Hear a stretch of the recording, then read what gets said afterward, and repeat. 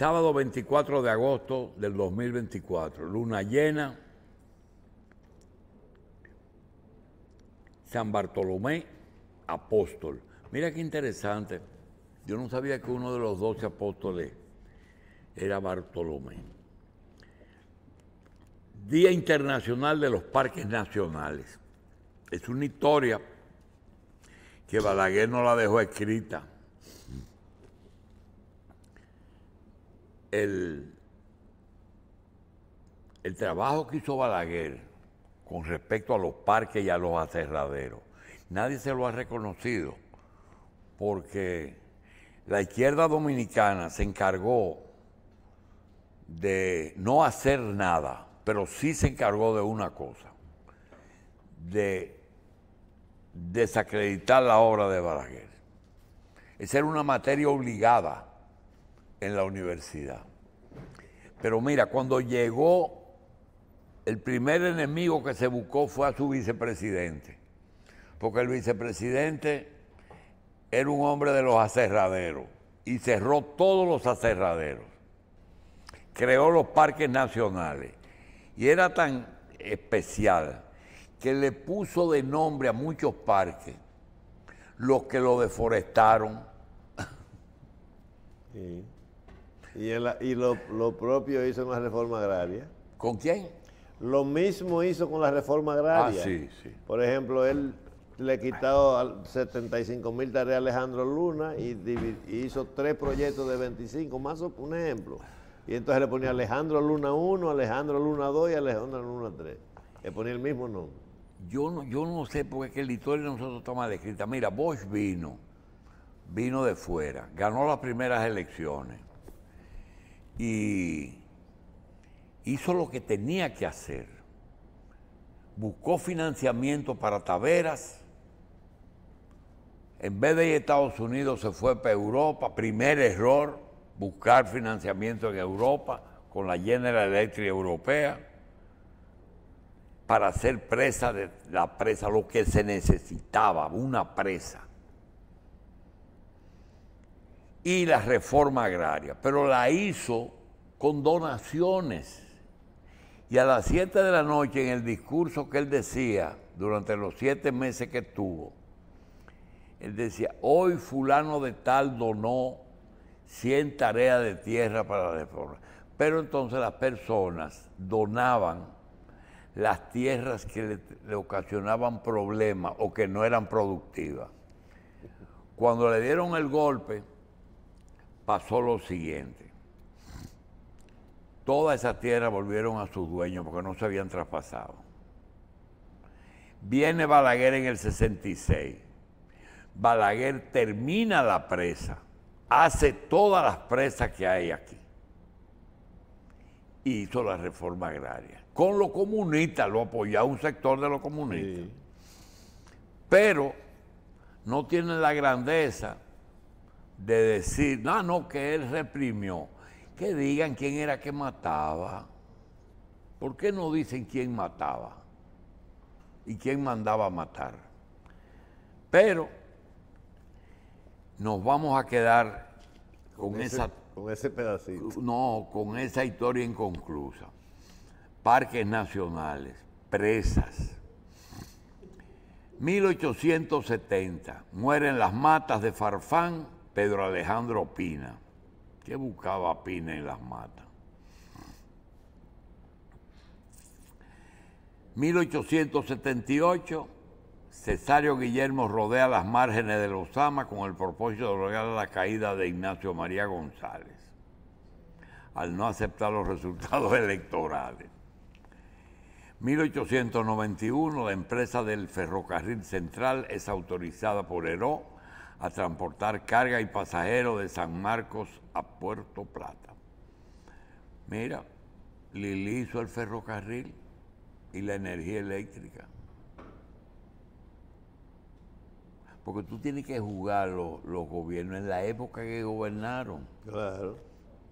Porque si la pena de muerte e, era una, un castigo, ahora no. El destierro era la deportación. no lo quiero aquí en el país. En 1961, el secretario de Estado de los Estados Unidos, Dean Ross, remite un memorando a Balaguer en el que evalúa la situación imperante en este país y le recomienda la realización de cursos de acción diseñados para fortalecer su programa de democratización e inducir a la oposición moderada, a Ramfi Trujillo y a los militares. Siempre están metiendo la cuchara. 1963. Bosch solicita al embajador de Estados Unidos, Balomarte, en una reunión para tratar la crisis política que afectaba el gobierno. Imagínate, estábamos en agosto, el mes siguiente lo tumbaron. 1988. El Poder Ejecutivo dispone el traslado de los restos de Pedro Enrique Jureña y de su madre, Salomé, a la iglesia de las Mercedes, de la iglesia de las Mercedes al, peón, al Panteón Nacional. En las efemérides internacionales tenemos que Ojeda descubre el lago de Maracaibo en Venezuela, lo que se llamó Pequeña Venecia, por eso es que se llama Venezuela Mira qué interesante. Ahí nací yo. En Venezuela. Sobre el lago Maracaibo, una parte que había, que tenía una, una pequeña población sobre el lago. Y usted vino pequeño para acá, al sur. ¿Eh? Usted vino pequeño al sur del país. Eso fue un evento, una, una coincidencia. Los padres míos se fueron a, a Venezuela recién casado, porque unos primos lo indujeron porque habían descubierto petróleo y las grandes compañías americanas estaban llegando a Maracaibo, que era el lugar donde estaba el petróleo. Entonces ellos se fueron y pusieron su negocio en un municipio que se llama Lagunillas, que es justamente una parte del lago. Tiene una parte en tierra y entonces sobre madera hicieron una pequeña Venecia. Y ahí nací yo. Pero el clima era muy caliente era más caliente que donde nació mi mamá aquí, que era en Asua. Asua, era. mucho decir. Y después apareció que el petróleo estaba en Asua, aquí. Sí, ahí en Charco largo. Bueno, el cuento es que solamente nos pasamos menos de un año, pero al regresar se dificultó por la guerra en el 39 se fueron, estalló la guerra, regresaron en el 41 con la guerra en su buena. Tanto así que en el barco que vinimos, porque ya yo existía, nos trajo hasta, hasta el puerto de Santo Domingo y regresando lo hundieron los alemanes ahí afuera porque el Caribe estaba lleno de, de submarinos alemanes. Así submarinos. Submar, sí, seguro, los alemanes. Así es que esa es la historia. Ah, y después entonces un pariente le dijo, mira, como tú encontraste que Azua y Venezuela y Maracaibo son calientes, te voy a recomendar un sitio que es el mejor clima que hay, que es un pequeño valle perteneciente a la provincia Benefactor, que es actualmente San Juan de la Maguana. Y vivimos 14 años en el cercado. ¿Y los otros parientes suyos allá? ¿Perdón? ¿Los otros parientes suyos? No, ellos se quedaron porque esos estaban allá. Bien, entonces Pizarro retorna a la desembocadura del Amazonas luego de la travesía de ocho meses hasta sus fuentes y lo bautiza por haber sido atacado por mujeres indígenas con arco y flecha. Oh, miren, el, por cierto, que aparece hoy en el periódico El Listín, en el New York Times, que los Amish es una religión como los mormones y como los... No, los menonitas son como los Amish y como los mormones. Se instalaron en el Perú para cuidar la Amazonia y ellos todavía usan eh, el transporte original, en vez de ser, no les gusta usar los vehículos, usan caballos, tienen costumbre que evitan las cosas modernas. Esa es una iglesia. Ah, bueno, estamos hablando del cercado. Allá fue el primer lugar que, Se hizo una iglesia que fueron los menonitas. Hicieron una iglesia allá y tenían una misión. Bien, 1879 estalla en Cuba, en Cuba la llamada Guerra Chiquita, que la declaró Maceo. 1929 Arafat muere en Francia. Bueno, murió en Francia. En el 73 Allende nombra a Pinochet comandante en jefe del ejército en sustitución de Carlos Prats. Bueno. 1991 Gorbachev dimite como secretario general del Partido Comunista y Ucrania proclama su independencia de la Unión Soviética. 2005 la prensa de Estados Unidos expresa en editoriales y artículos un rechazo al llamado del predicador Robertson, que para deshacerse de Hugo Chávez había que asesinarlo. Un día como hoy nació nuestro querido amigo y colaborador sabatino, don César Sandino de Jesús, ex ministro de Agricultura, está de cumpleaños, es agrónomo y pertenece a ese grupo de ingenieros agrónomos que durante los últimos 50 años ha dirigido el ministerio. Es un grupo que, aunque pertenecen a diferentes partidos políticos, con excepción de Villi Álvarez y Toral, todos son, eh, es como una... Una logia. Sí, como... Usted siempre dice así. Sí, tiene unos jefes, unos líderes que han sido, número uno, eh, Sandino de Jesús. Número dos, Fernando Álvarez. Eh, pues usted está hablando de la edad. No, estoy hablando de incidencia. En el son todos amigos, todos los ministros son amigos de ellos. O fueron amigos, o fueron alumnos. Sandino fue director del IAD y director del Intabaco también. Pero comenzó con Fernando Álvarez. Ahora, el que más lejos llegó fue Hipólito. Sí. Que tengo una noticia rara. ¿Tú sabes quién es candidato de la AMPA? 34 años después. ¿Quién? O. el que viene todos los sábados aquí. Tito. Tito Hernández. Candidato a, a secretario general de la AMPA. Él fue secretario de la AMPA hace 34 años. Sí, fue un candidato. Yo, yo, yo, yo, yo hablé con él ayer y le digo, Tito, quiero que vaya para que me cuente qué se te quedó por hacer, que tiene que volver 34 años después.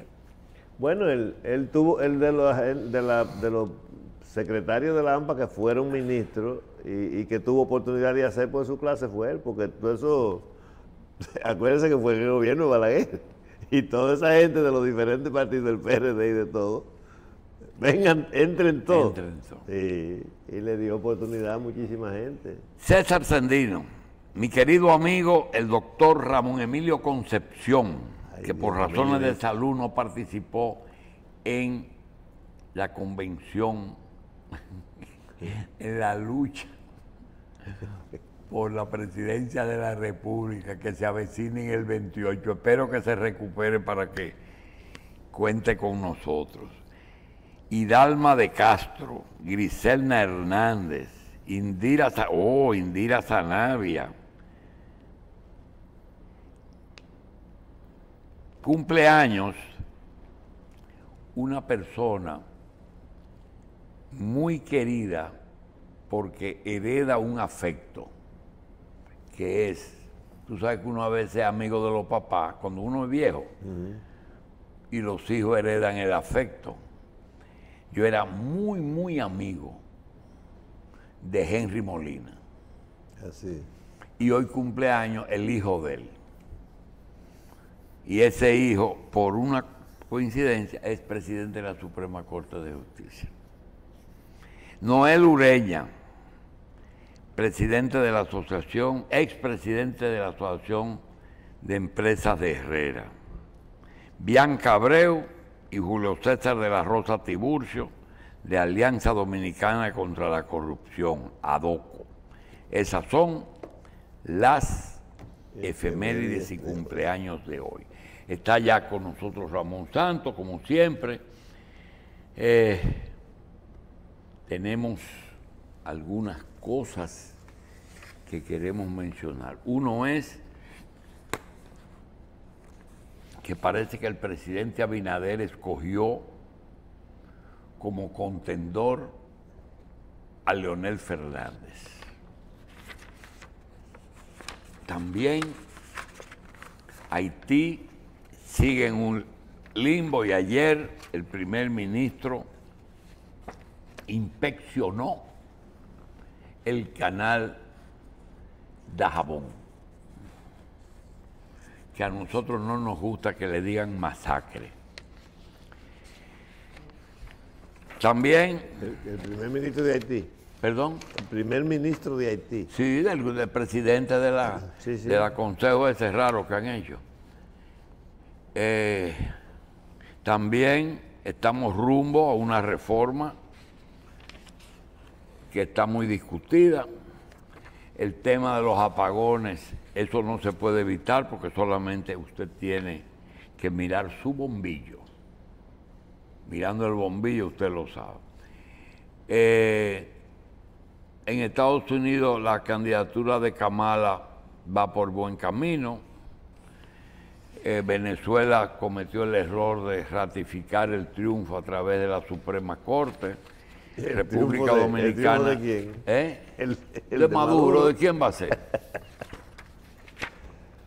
Eso puede ser que esa gente estén siguiendo una, una táctica que es retardar cualquier solución, porque a veces la gente y los medios se cansan. Sí.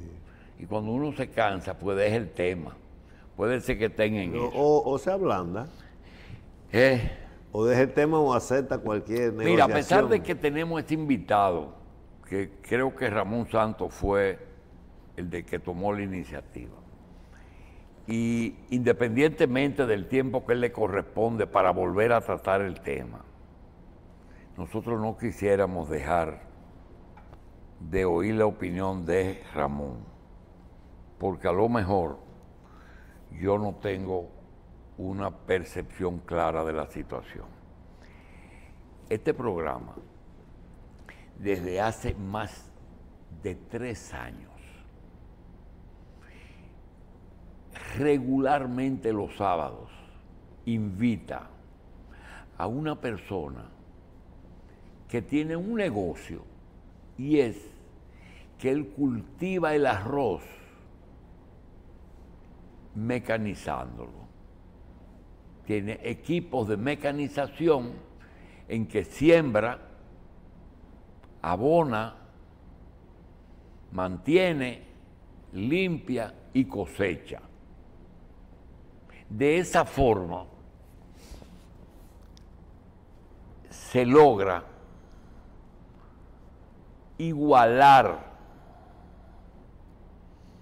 el costo del cultivo del arroz aquí y en cualquier parte del mundo.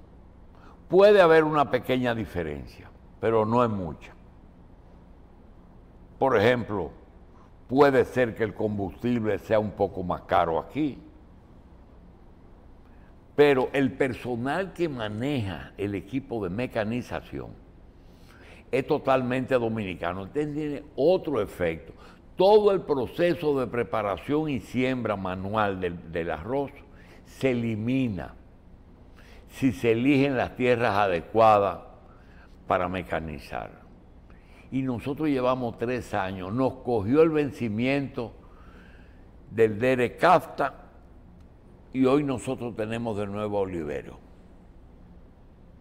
Hablar del tema que con tiempo nosotros hemos tratado. Olivero es para allá, sábado por sábado ha venido y ha hablado del tema y eso nos resuelve dos cosas. El costo de producción eh, se amortizaría bastante con eso que va a pasar y es que siempre aparecerá un arroz más barato que el de aquí. Sin embargo, si se mecaniza la situación, habría que discutirla.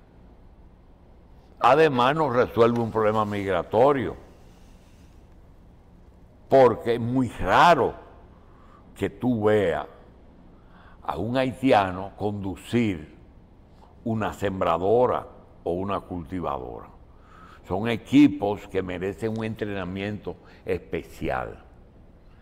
Queríamos decir eso porque hoy tenemos a Faña, a Olivero y a Fran Tejada.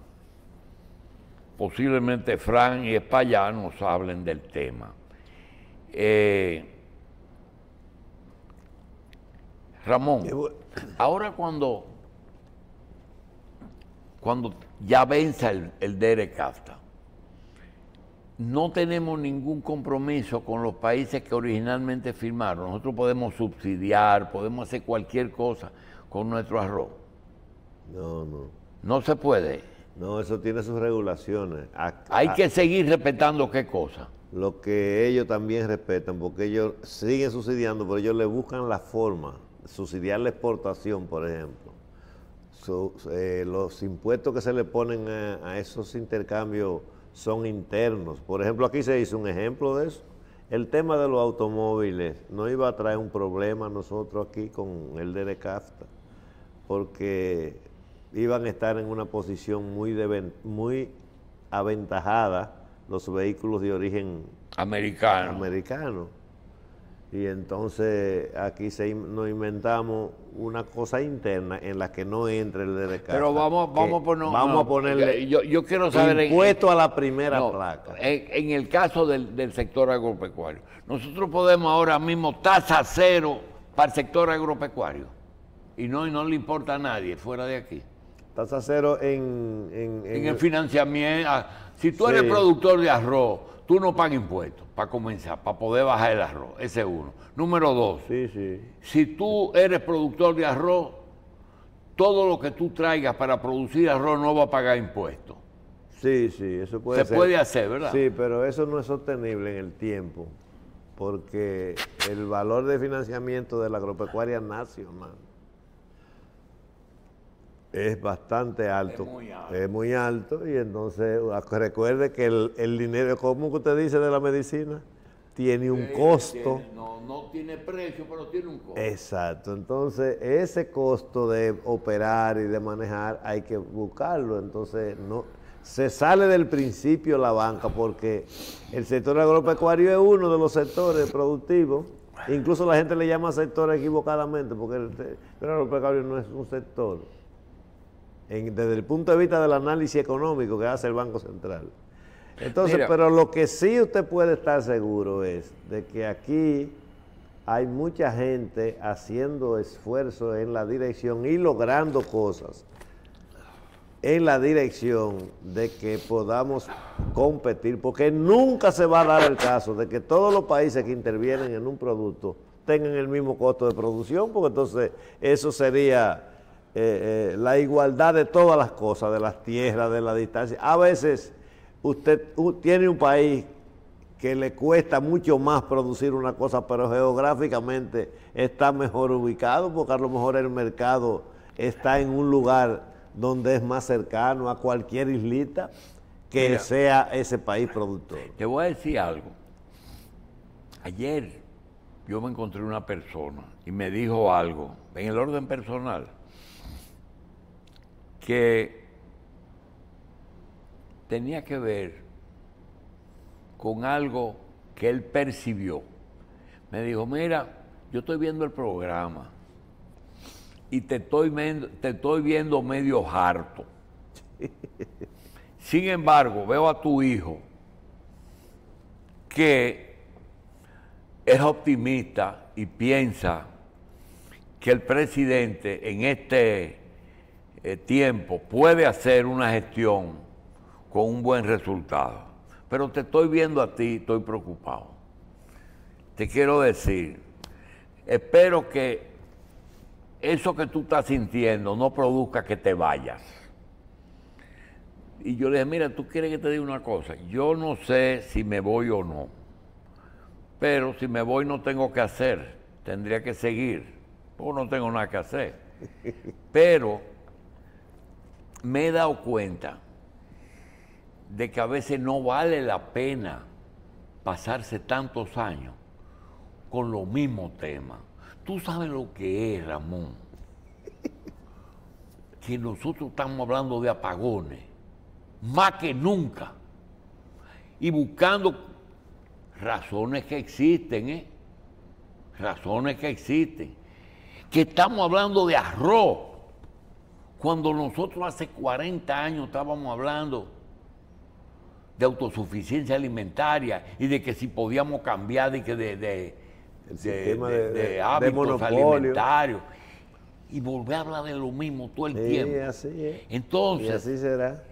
La conclusión que llegué, no se lo dije al amigo, es que aquí existen agendas ocultas. Aquí hay personas que te dice algo y le está diciendo y hace análisis muy apropiados, muy, muy correctos, pero tiene o conocimiento o es vocero de alguien que tiene una agenda oculta. ¿Qué es una agenda oculta? Por ejemplo, nosotros vemos hoy una fotografía del primer ministro haitiano inspeccionando el canal de jabón. Y él se para con una cachucha y mira. y yo, del lado haitiano, y yo pregunto, ese tema no está resuelto. Y ese tipo que está sentado ahí no tiene el poder para resolverlo, porque eso no lo hicieron en el gobierno de él, ni se sabe quién lo hizo. Entonces... buscando un motivo para algo. Tú tienes esas agendas que tú dices, ¿y por qué el PLD, que fue que sustituyó a Hipólito y a Sonia Guzmán en el 2004. Se pasó del 2004 al 2020 y no hizo nada para prepararse para el Dere. Porque eso después se resolvía. Sin embargo, estamos, mira, nosotros paramos acá a, a Ramón Santos cuando entró a hablar, el Derecapta no es arroz, es una serie de, de los vehículos. Pero los vehículos traen como consecuencia que tienen lo que se llama efectos no deseados. ¿Cuál es el efecto no deseado? El efecto no deseado es la capital llena de carros el efecto no deseado el consumo de combustible fósil. que en el año 2018 Antonio Marte trajo unos carritos Sonata. Y le dijo a un amigo que él le podía ceder uno en 260 mil pesos. Y ese mismo carro ayer, un amiguito mío, pagó 500 mil pesos por el carro. Usado.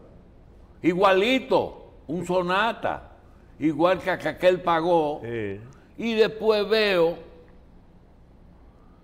que mi querido amigo, el doctor Roque, candidato presidencial, médico, vivió en Corea y habló de que él tuvo que ver con, la traída de esos carros. Y Roque ha hablado de muchas cosas y nos puede dar una explicación. Inclusive alguien lo critica porque hay un video que él dice, yo soy yo tengo nacionalidad coreana. Es que él tuvo un tiempo en que parece que Corea, para tú poder hacer cierto negocio, tú tienes que ser, hacerte eh, o residente o tienes que hacerte nacional. Y hay una serie de explicaciones que aquí no le quieren dar a uno, porque hay agendas ocultas. Y usted tiene que saber cuáles son las razones pero ahí en... Si usted quiere, yo conozco algo del tema de, Corea y de la importación de vehículos de gas propano,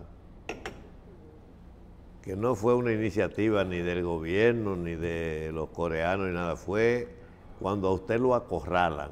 ¿Quién? No lo acorralan. cuando lo acorralan. El mercado de vehículos usados aquí se estaba manejando con lo que recibían de los que compraban y con los carritos usados que traían de Estados Unidos y con, y con unos carritos que traían de Japón, con el guía a la izquierda, a la derecha.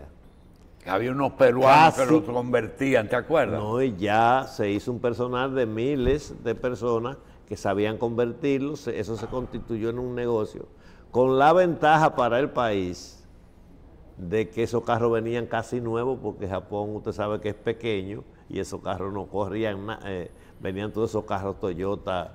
Eh, nada más el problema era la inversión del guía. Entonces los importadores comenzaron a, a, defender una posición que ellos decían que esos carros eran un peligro, porque era, eso le daba duro al mercado, eran carros baratos y casi nuevos. Mira, aquí tú... Entonces, escúcheme, déjeme terminarle la, la idea. Entonces, hasta libro. A mí me regalaron un libro de este, del gordo de una pulgada con los defectos de esos carros. Pero los carros en, diferentes países se manejan de diferentes, de diferentes lados. Los carros vienen para que se manejen del lado izquierdo y del lado derecho. Entonces eso obligó a buscar una salida para todo ese mercado que había y fue donde surgió el tema de traerlo de Corea de gas. Esos carros con 500 mil y con 600 y 700 mil kilómetros que vienen y el carro está, el país está lleno de esos carros. Hubiera sido preferible haber dejado el otro mercado informal que venía de Japón, que eran vehículos de más duración, de menos precio, y el único problemita era que aquí le invertían el, guía, de un lado para el otro.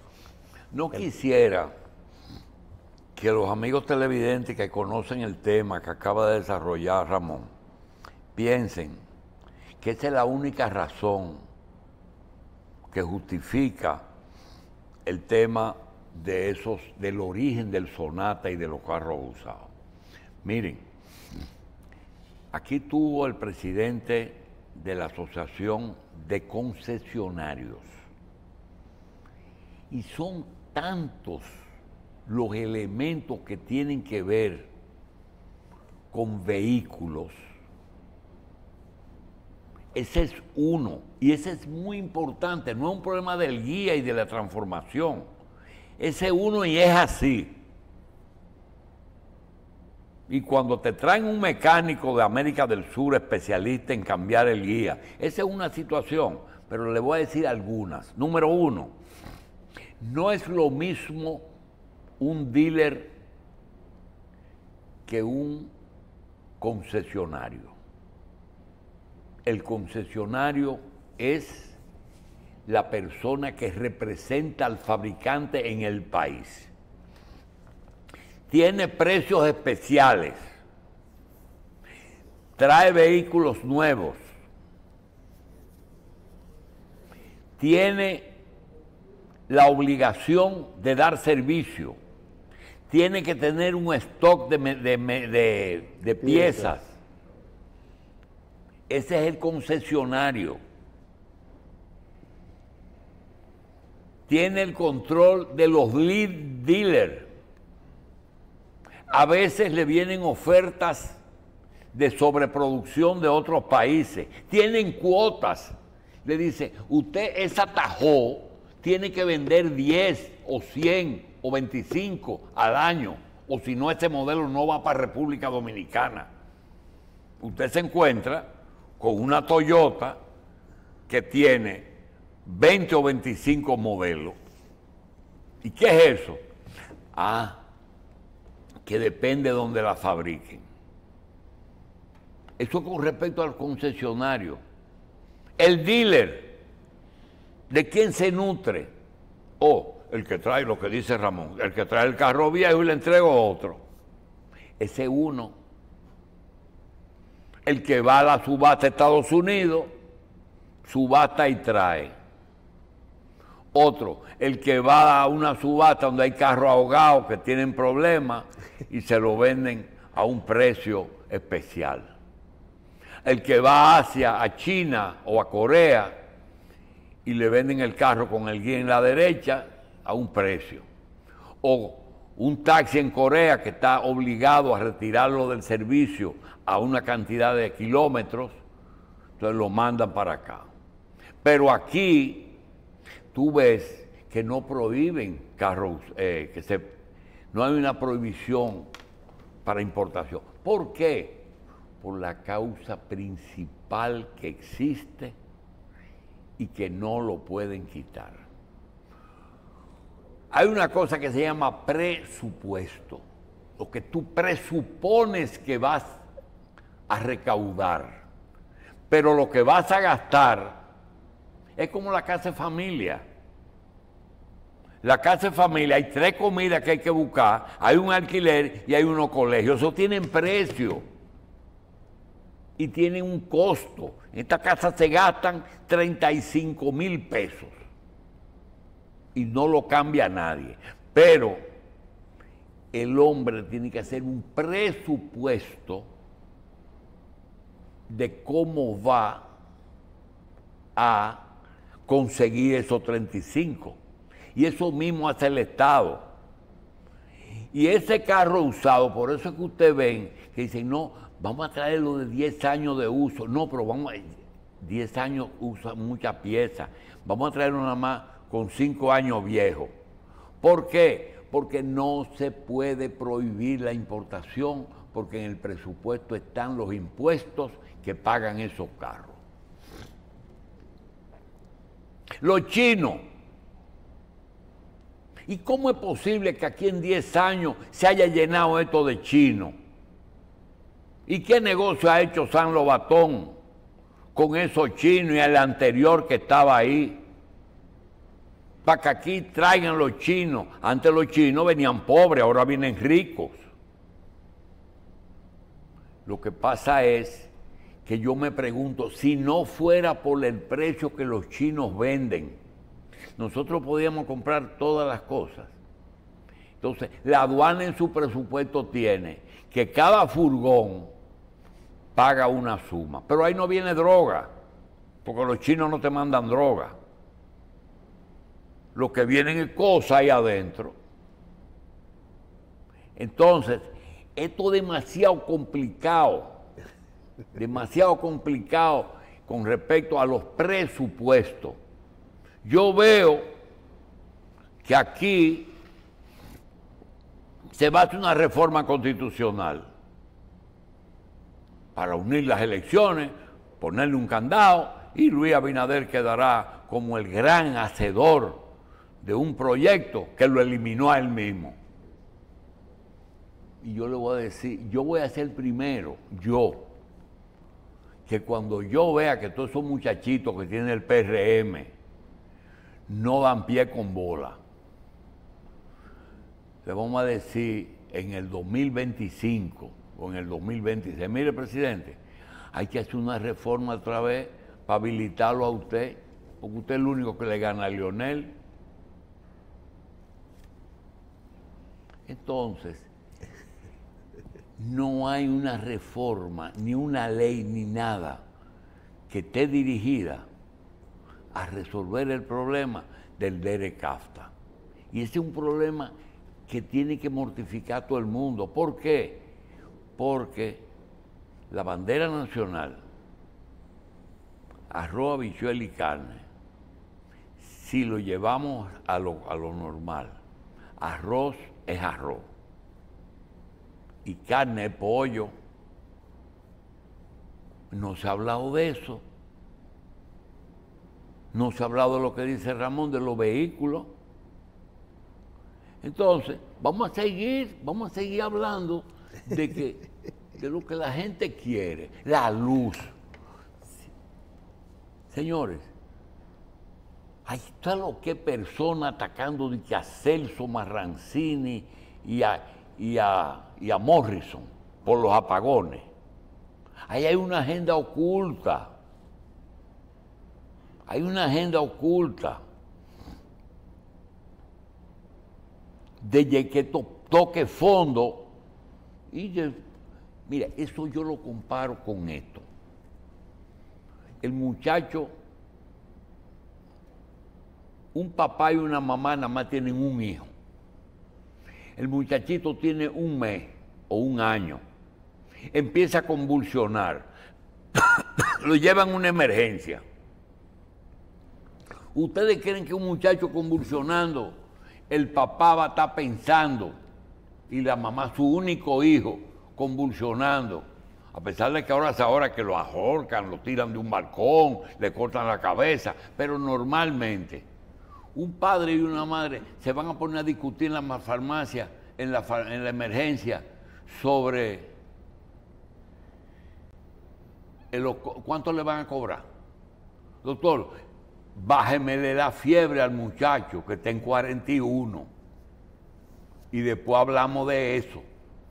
No que un depósito. Doctor, bájemele la fiebre al muchacho que está convulsionando. Eso mismo es lo que están haciendo con la luz. Llevándolo a un punto de que cualquier solución que se ponga, yo la voy a aceptar. Nosotros estamos trabajando con planta desde las 5 de la mañana.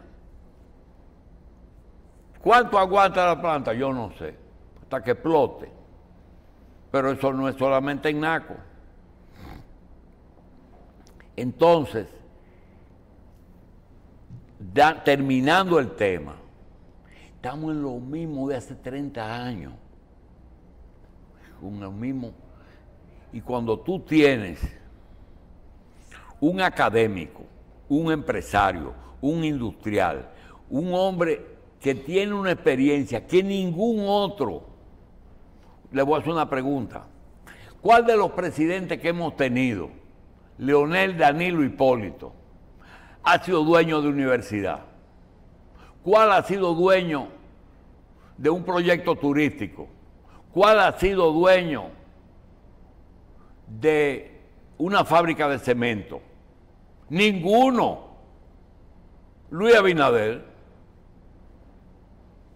Entonces, de él uno espera más, porque sabe de lo que está hablando. Entonces, hoy que nosotros tenemos agosto 24, ¿verdad? 24 de agosto, Sí, sí. que estamos con los mismos problemas Día- día- día- que encontró Balaguer en el 66. No hay suficiente energía, no hay suficiente producción de alimentos y hay que importar más de lo que se exporta y tenemos, en vez de tener 5 millones, tenemos 10. Y en vez de tener 20 mil o 30 mil braceros, no se sabe cuánto, pero no es verdad que tenemos menos de 3 millones. Entonces, esas agendas ocultas son las que uno tiene que conocer para saber para qué se prepara. Porque yo no le puedo decir algo que le dije en una ocasión. Todo aquel dominicano que tenga residencia en Estados Unidos o que se haya nacionalizado, que regrese a Estados Unidos. Yo no le puedo decir eso porque Estados Unidos no está tampoco tan bien. No se puede. No le puedo decir cojan una yola porque ahora se usa, cojan un avión que lo lleve a Nicaragua y de Nicaragua arranquen a pie para México. Entonces, no quiero ser portador de las malas noticias, pero cuando nosotros decíamos en el año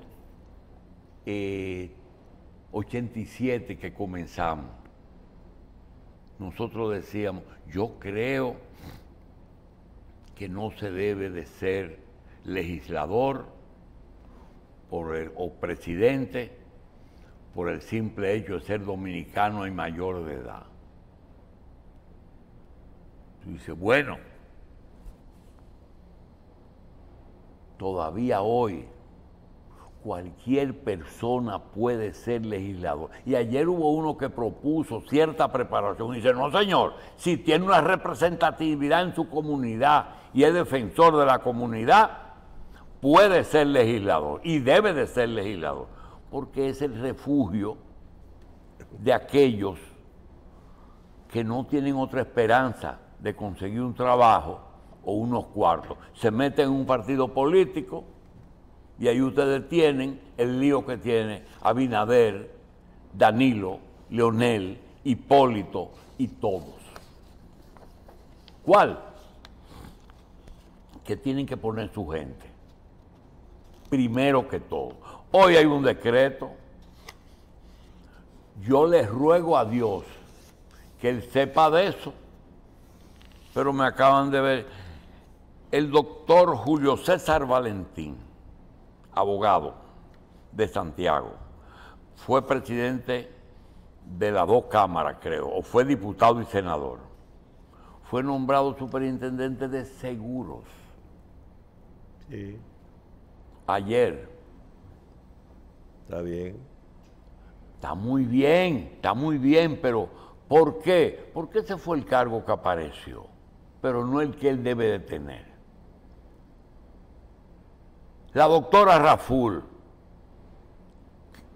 senadora de la capital, ministra de Interior y Policía. ¿Está bien? ¿Está bien? Eso no hay nadie que, que lo pueda discutir. El doctor ministro de salud pública, médico, cardiólogo, pregunto, pregunto, ¿a quién sustituyó?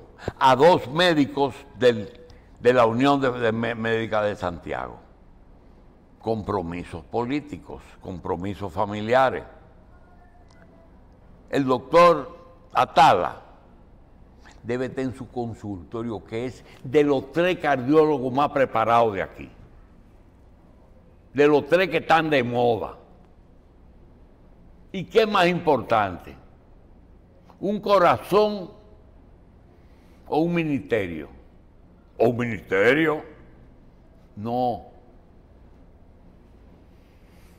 Yo no quiero criticar Pero lo que se usa es poner al que, al que tiene que ser,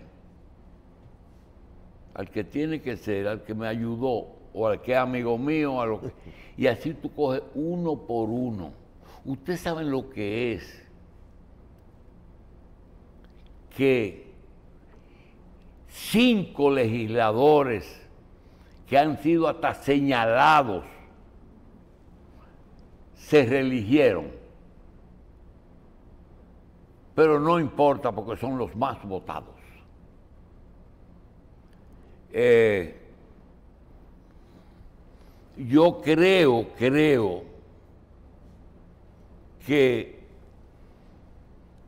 vale la pena repetir el que ayer recomendamos un estudio social. Usted que está viendo la televisión, haga este experimento. A partir del lunes, no lea periódico, no oiga la Z, no oiga la revista 110, no oiga medios de comunicación. Haga su trabajo, transpórtese, vea su medio donde usted se mueve, su barrio, su casa, su el súper, lo que usted ve, no lo que oye. Y después dígame, ¿cuál fue la percepción? Porque hacer percepción en base a lo que te digan los medios no tiene chiste. Es la realidad. ¿Cuál es la realidad por todas partes?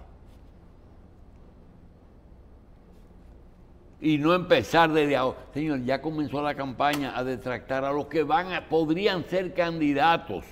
Usted sabe la cantidad de personas que en su cabeza quieren ser presidente en el 28 y solamente se han mencionado 15 eh, o 20 sin los otros que vienen. Solamente se han mencionado 15 o 20 todavía faltan. Abinader exige a funcionarios más compromiso y más transparencia.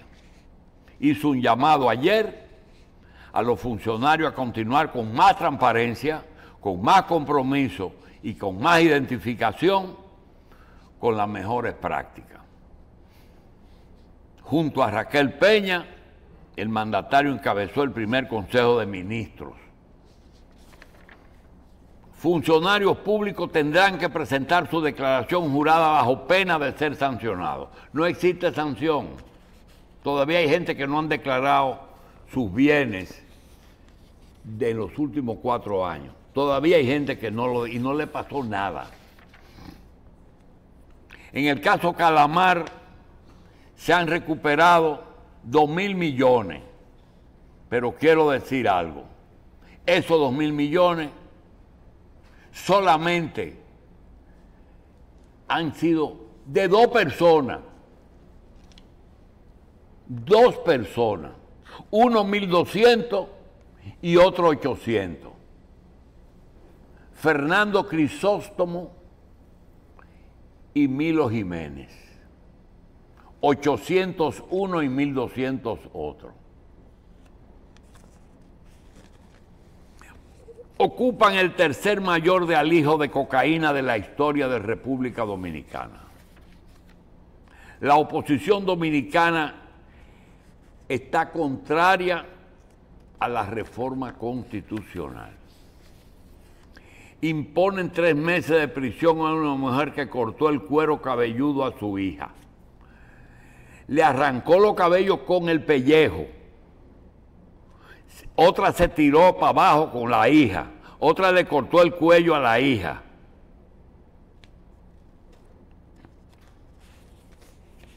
Ana Josefa García podría ser declarada inimputable si se, si se confirma que es esquizofrénica. ¿Y por qué a los locos no le coge con hacer cosas buenas, sino cosas malas? Siempre hacen cosas malas. Eh.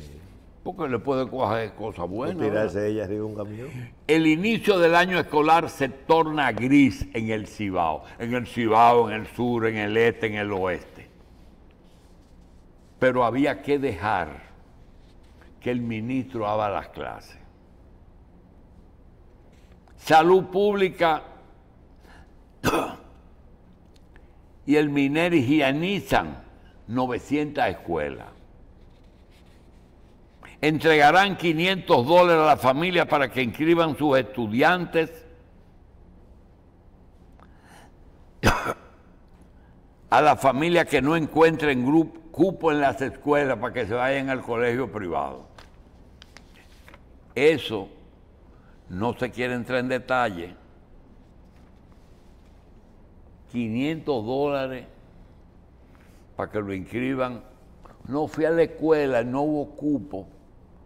Entonces la llevé al San Juan Bosco y ahí voy a pagar 500 dólares por el año. Entonces el cura te dice,